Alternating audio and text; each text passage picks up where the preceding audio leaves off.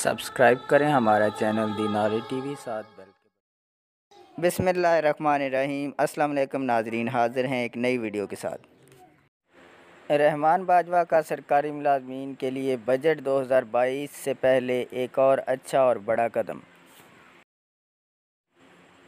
नाजरीन, मौजूदा मुल्की हालात के पेश नज़र इस हकूमत से बजट 2022 में सरकारी मुलाजमीन के लिए रिलीफ़ की कोई तो नहीं की जा सकती। लिहाजा इस सूरत हाल को देखते हुए रहमान बाजवा साहब ने एक और अच्छा फ़ैसला किया है।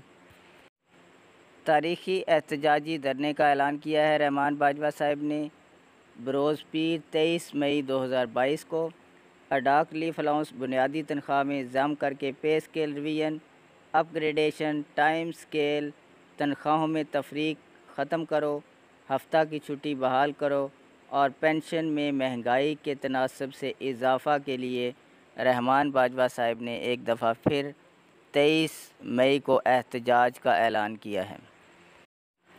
चूँकि पाँच जून को बजट पेश किया जाना है तो सरकारी मुलाजमीन को चाहिए कि इससे पहले पहले हकूमत पर अपना दबाव बनाए रखें, वरना फिर बाद में कुछ हाथ नहीं आएगा। मज़ीद अपडेट्स के साथ हाज़िर होंगे, अल्लाह हाफिज़।